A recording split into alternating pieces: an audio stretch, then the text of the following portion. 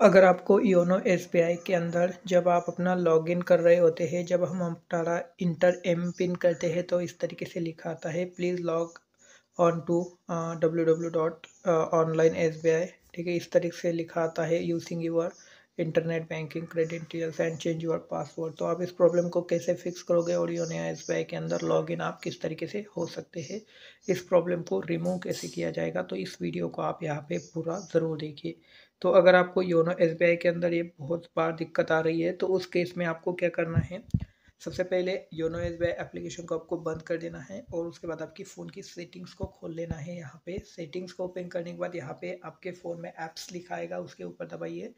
यहाँ पे आप स्क्रॉल करके नीचे भी देख सकते हैं, या फिर ऊपर ही आपको मिल जाएगा। तो ऐप्स के ऊपर आपको दबाना है, और जैसे ऐप्स के ऊपर आप दबाएँगे, यहाँ पे आपके फ़ोन के सारे ऐप्स आ जाएँगे। यहाँ पे आपको इन ऐप्स के अंदर योनो एसबीआई का एप्लीकेशन ढूंढ लेना है, और जैसे आपको यहाँ पे योनो एसबीआई मिलेगा, आपको योनो एसबीआई के ऊपर क्लिक कर देना है, ठीक है? उसके ऊपर क्लिक करने के बाद यहाँ पे स्टोरेज और कैचे लिखाएगा उसके ऊपर आपको क्लिक करना है योनो एस के जो एप्लीकेशन है उसका क्लियर डाटा आपको यहाँ से कर देना है क्लियर स्टोरेज करना है क्लियर डाटा जो भी ऑप्शन है आपके फ़ोन में वो कर दीजिएगा।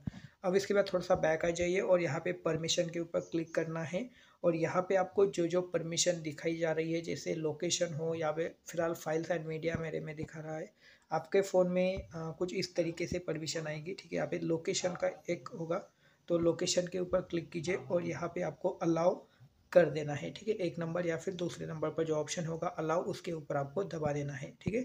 अलाउ कर देनी है और जो जो बाकी परमिशन यहाँ पे नज़र आएगी, वो सभी अलाउ करनी है। उसके बाद आप वापस से योनो एस को अपने खोलिएगा और देखिए आपकी जो प्रॉब्लम है, वो यहाँ पे फिक्स हो जाएगी।